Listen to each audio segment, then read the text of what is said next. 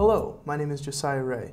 I'm going to show you the tab that you need to access to make pictures or words blink or move inside of Microsoft PowerPoint. And these are all kind of grouped underneath the tab Animations. So here I am inside of PowerPoint, and usually you're underneath the Home tab here, so you can change your fonts and formatting and things. What I'm going to do is select the test box that I've created here, and go over to the Animations tab. And Typically this custom animations window is not open, so I'm going to close it real quick. And to reopen it, underneath the animations tab, just click custom animations. Now, it requires you to have something selected, so I've kind of created this little box and put some text into it so that I can have something selected. And we want to go up to add effect.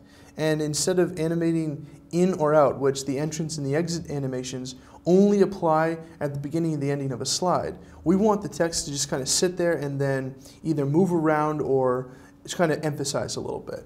So let's come down to emphasis. And we're going to click on more effects.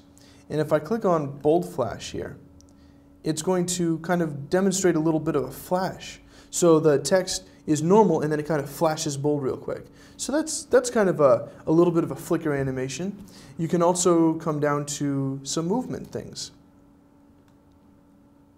So instead of doing any of these, which we've got like a, a wave that we can do, or we can even flicker it, which is a little bit more like a flash, I'm going to go to Add Effect, Motion Paths. And I'm just going to have this thing animate to the left.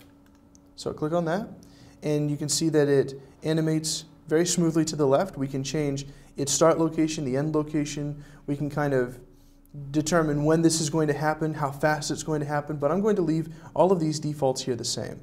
And let's just click play. And so you can see this little timeline opens up when we click play, and you can really fine tune overlaying animations and things like that. I hope you've enjoyed this video on how to get text or images to move and flicker in PowerPoint. If you've got any other questions, please contact me at josiah at jraystudios.com. I'm Josiah Rea.